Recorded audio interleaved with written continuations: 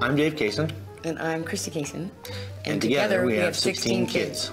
Laura is three, Morgan five, Walker six, Trevor is seven, Rebekah eight, Emma is nine, Harper is 10, Kaylee 12, Gage 14, Bailey is 15, Austin is 17, Dalton 19, Chad is 20, and the eldest is Jessica, who is 22. And then there is one year old Nathaniel and sleepy two year old Sawyer. Life in a big family is not easy. Every morning, Mom, Christi, takes nine of their children to four different schools. She looks after the younger brothers and sisters for the rest of the day.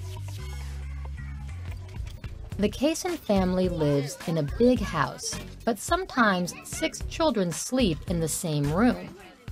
They also have a big car. But it takes a long time for all of them to get in the car. Dad, Dave, says it's not easy to take care of so many children. The younger brothers and sisters fight a lot.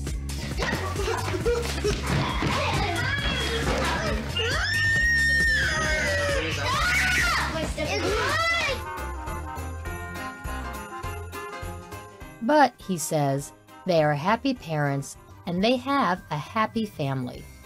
Oh.